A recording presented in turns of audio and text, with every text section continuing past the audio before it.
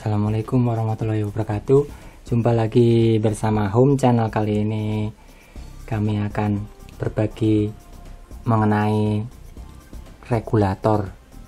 Regulator di sini untuk memberikan input listrik yang stabil ke mesin jahit Anda. Kami sarankan mesin jahit dan mesin obras Anda itu menggunakan regulator regulator ini karena mesin jahit dan mesin obras dilengkapi motor motor sangat sensitif dengan arus listrik yang tidak stabil. Sehingga kalau arus listrik yang tidak stabil masuk ke mesin jahit dan mesin obras Anda lama-lama mesin jahit Anda akan cepat rusak untuk mengantisipasi itu maka kita tambahkan regulator ini. Kita udah beberapa kali memakai regulator yang harganya murah made in China. Dua-duanya ini rusak. Kenapa rusak? Ternyata setelah kita mati adalah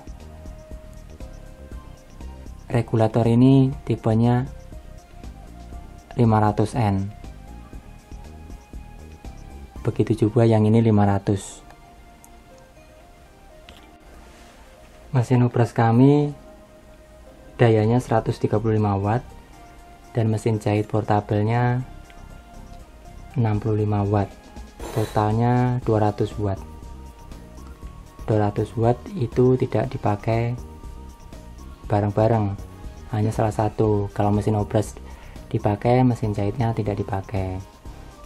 Karena uh, kita menjahit setelah menjahit obras gitu sehingga katakanlah maksimal mesin operasinya 135 watt dipakai kita ambil yang terbesar. Kalau mesin jahitnya kan cuma 65 watt kita ambil 135 watt. Ketika mesin obras beroperasi 135 watt. Saat mulai start itu uh, daya yang dikeluar dibutuhkan hampir tiga kali lipat secara teorinya.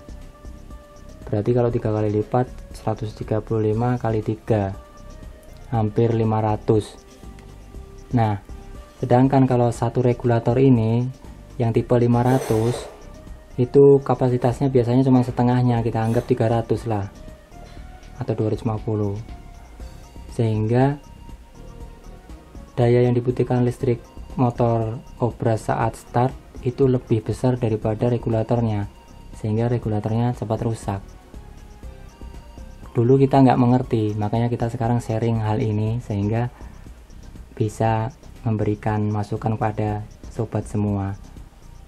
Dulu waktu satu ini rusak kita beli lagi. Eh ternyata masih rusak lagi. Kemudian kita konsultasi ke penjual regulatornya. Ternyata memang misal regulator 500 itu kapasitas nya hanya 300 300 watt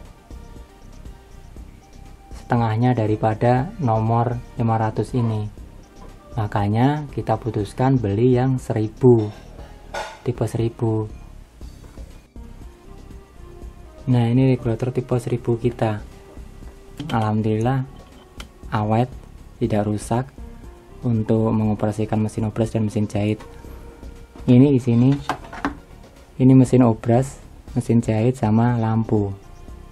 Kita pakai. Nah ini kita masukkan ke sini.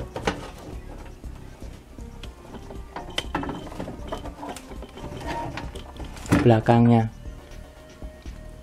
Karena colokan di belakang ini adalah keluaran daya yang terbesar. Kalau yang di depan ini kalau yang di depan ini untuk ngecas HP yang kecil-kecil lah. Ini 220 ini 110 yang 110 kita kita blok pakai selotip biar enggak lupa dipakai. Kalau dipakai ini rusak peralatan anda karena ini 110 listrik di rumah kita ada 220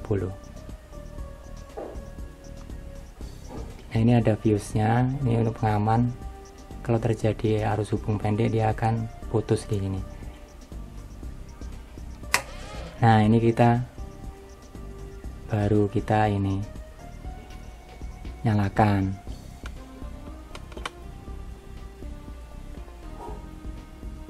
Kita sudah nyalakan mesin obrasnya. Ini mesin obrasnya kita nyala lampu nyala. Ini pedal mesin obrasnya. Nah ini kita lihat apa yang terjadi kalau kita ini. Ini ranknya anda perhatikan antara 220 sampai 300 220 sampai 300 yang di warna merah ini. Jarumnya menunjukkan ini berarti masih normal. Karena supply yang kita butuhkan ya di 20 sampai 300 ini.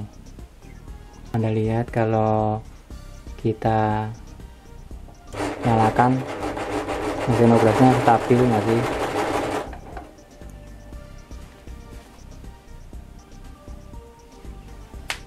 itulah yang menyebabkan awet dan tahan lama salah satunya mesin obras dan mesin jahit Anda.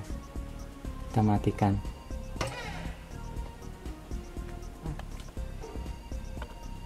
Oke, begitu sedikit uh, informasi dari kami. Selamat mencoba. Semoga Anda selalu menjalankan bisnis menjahit dengan lancar. Wassalamualaikum warahmatullahi wabarakatuh.